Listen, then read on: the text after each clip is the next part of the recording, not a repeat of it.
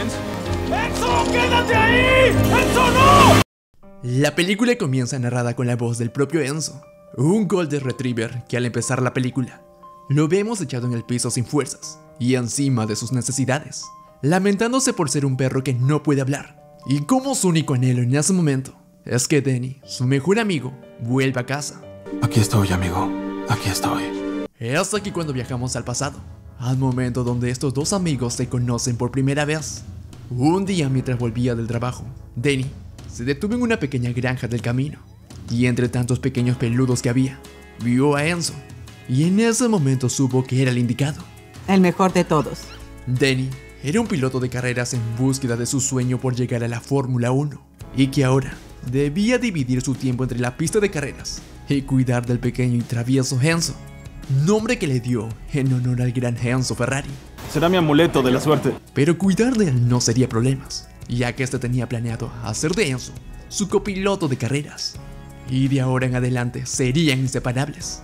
Para él, era muy importante que su nuevo mejor amigo peludo conociera su segundo hogar. Por eso, decide llevar a Enzo por primera vez a una de sus carreras. Estando allí, conocemos a Don Kitts, el dueño de la academia de pilotos donde Danny daba clases algunas veces, pero además eran muy buenos amigos, gracias a que Don confiaba en su trabajo y sabía que llegaría a ser grande. ¿Cómo dijiste que se llama?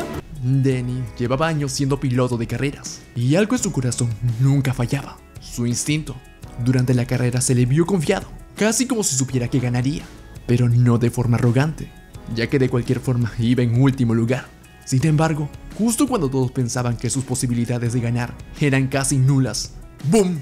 Decide cambiar sus neumáticos de su auto por unos de lluvia. ¿Y qué creen? Comenzó a llover.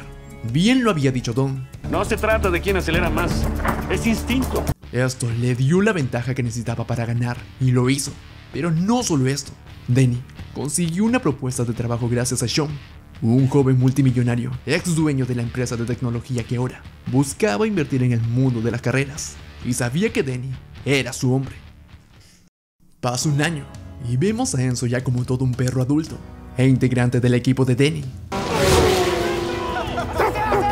Este había aceptado trabajar con Sean de piloto y hasta ahora todo iba bien, salvo por una cosa. No estaba recibiendo el crédito por sus victorias, por culpa de Sean. Quita ese payaso. Sin embargo, Enzo confiaba en que su mejor amigo pronto llegaría a cumplir su sueño de ser piloto de la Fórmula 1 y sería una leyenda de las carreras. Pero por lo pronto solo era mi campeón. Pero lo que no sabía Enzo era que pronto iba a tener que compartir el amor de Denny. Porque justo un día, mientras hacían las compras, este conoce a Ivy, una joven y hermosa maestra que inmediatamente flecha el corazón de Denny y este la invita a salir. Ok, te veo allá. A Enzo no le agradaba la idea de tener que compartir la atención de Denny con esta nueva humana, ya que Ivy no le daba buenas vibras, porque no era fanática de los perros y le molestaba tener que verla en casa, en la pista y básicamente ahora en todos lados. Como si Denny cayera tan fácil. Con el tiempo, ambos serían esposos y ahora serían una nueva familia. Eve, Denny y Enzo se mudan a una nueva casa, lo que en parte alegraba a Enzo, porque ahora tendría más espacio para divertirse, pero extrañaría el departamento que Danny y él habían hecho suyo. Después de varios días en la nueva casa, Enzo comenzó a percibir una aura extraña que no le permitía sentir resentimiento con Eve. Estaba embarazada. Y ahora, la familia crecería un poco más. Danny comenzó a trabajar más duro porque ahora con el bebé en camino, necesitarían dinero extra. Y es así como Enzo comenzó a pasar mucho tiempo con Eve en casa, cosa que pues no le agradaba mucho. Para ser sincero, todavía no compartía el afecto que Denny le tenía. A pesar de todo, Enzo trataba de cuidar a Eve mientras Danny trabajaba, porque imaginaba que no era fácil cargar con una personita dentro de ella. A veces incluso me recordaba a mi madre. En la mañana del día de Navidad, Danny recibió una oferta de trabajo en Florida, y aunque le preocupaba tomarla y no estar a tiempo para el nacimiento de su bebé, la acepta, porque claramente necesitaba el dinero. Si obtienes un buen lugar, se te abrirán muchas puertas. Y mientras Denny corría una importante carrera, el nacimiento de la bebé se adelantó y nació la pequeña Zoe. Pero aunque Denny no pudo estar presente, Enzo estaba allí, apoyando a Eve. El aroma no tenía precedente. Al contrario de como ocurrió con Eve, Zoe se robó el corazón de Enzo y comenzó a ser para ella su hermano mayor. No le importaba hacer el papel de tonto, jugando la pelota, o ser disfrazado para ser uno de los compañeros en la tarde de juego de Zoe. La amaba, y ella lo amaba también. Gracias por cuidar a las chicas. Sin embargo, las cosas no mejoraban para Denny. Seguía teniendo problemas con el dinero, y su sueño de ser piloto de la Fórmula 1 se estaba retrasando más de lo que pensaba. Incluso estaba considerando dejar las carreras por un tiempo, hasta que le vuelven a ofrecer correr en Florida. Solo estás cansado. Un día, mientras Enzo cenaba, percibió en Eve un olor extraño, como algo podrido dentro de ella, lo que lo alertó de que algo andaba mal con Eve. Pocos días después, mientras Denny corría en Florida, las sospechas de Enzo se confirman. Algo andaba mal con la salud de ella, por lo que decide irse con Zoe a casa de sus padres, mientras Denny regresaba, dejando solo y hambriento al pobre de Enzo. Cuanto más se prolongó mi aislamiento, más ansioso me puse. Tras varios días solo y agonizando en casa, su familia regresa. Al parecer, Eve solo tenía un virus y se pondría bien. Durante la cena, Denny les da la noticia de que tras ganar su última carrera en Florida, le habían ofrecido un puesto permanente en el equipo, cosa que emociona a toda la familia. Ay, estoy muy orgullosa de ti. Sin embargo, algo no seguía bien con Eve, ya que mientras daba un paseo con Enzo por el bosque, esta se desmaya y como puede, Enzo busca ayuda para que la lleven al hospital. Pasan varios días y es aquí cuando al fin le detectan la terrible enfermedad, cáncer. Es aquí cuando Denny tuvo que renunciar a la oferta de trabajo en Florida y quedarse en Seattle cuidando de Zoe y buscando un nuevo trabajo en el taller donde trabajaba su amigo Mike para así poder estar más cerca de Eve, Enzo y Zoe. Finalmente, después de varios meses, Eve puede salir del hospital, pero deciden que se quedara en casa de sus padres, ya que no estaba del todo bien y necesitaba más cuidados. Pero a pesar de todo, Eve solo seguía viviendo por una razón, Solo quiero recuperar mi vida. esa vida feliz junto a su amado Denny, Zoe y el peludo Enzo. Cuida a nuestras niñas, Enzo. Enzo pasó noche tras noche, solo o con Denny, cuidando de Eve. ¿Quién diría que después de no quererla cerca por tanto tiempo, ahora estaba decidido a ser su ángel guardián? El demonio venía por Eve, pero antes tendría que pasar sobre mí.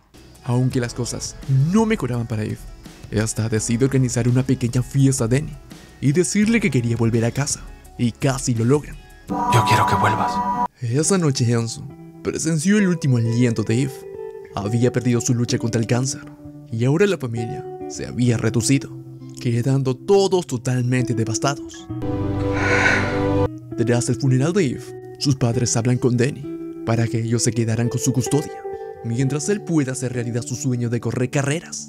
Pero Denny se altera y se niega porque él sabía que era capaz de cuidar a su propia hija. ¿Como con Eve? Maxwell. El padre de Eve, quien estaba muy dolido, le reclama que no hizo nada para salvar la vida de su hija, pero Denny no le hace caso. Así que el viejo le dice que lo iba a demandar para obtener la custodia de Zoe. Denny, lleno de cólera, lo empuja bruscamente a un lado. Y acuérdense de esto para después. No. Estás- Estoy bien. Tras esto, logra llevarse a Zoe e inmediatamente se va en búsqueda de ayuda con su abogado de confianza, quien le dice que no había fundamentos para que la demanda sea aceptada. No sé por qué se molestaron en presentarla.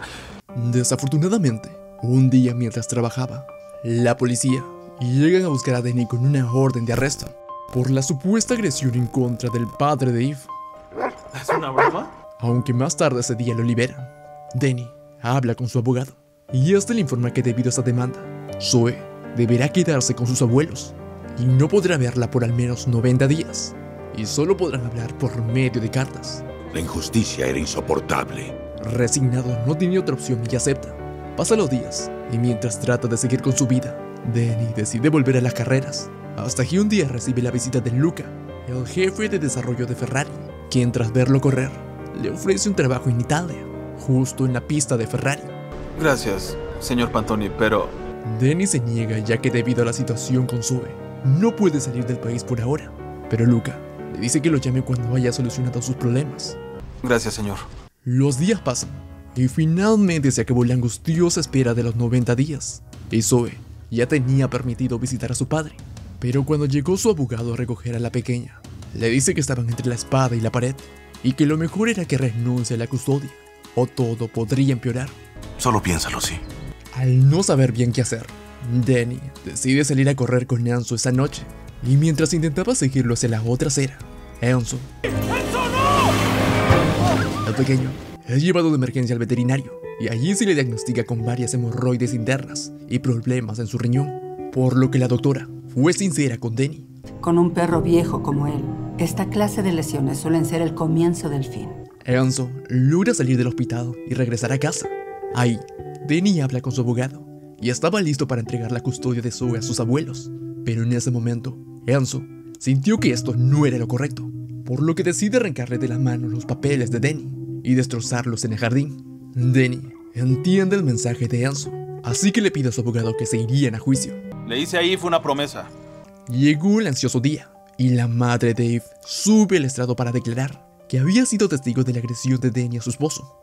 Pero justo cuando había terminado de declarar, reflexionó sobre las mentiras que acababa de decir, ya que ella realmente no quería separar al padre de su nieta.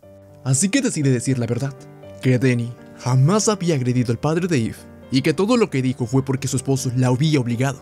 Lo siento, pero ya no puedo hacer esto. Esto fue crucial para el caso, puesto que Denny logró que retiraran los cargos y pudo recuperar a Zoe. El riesgo valió la pena.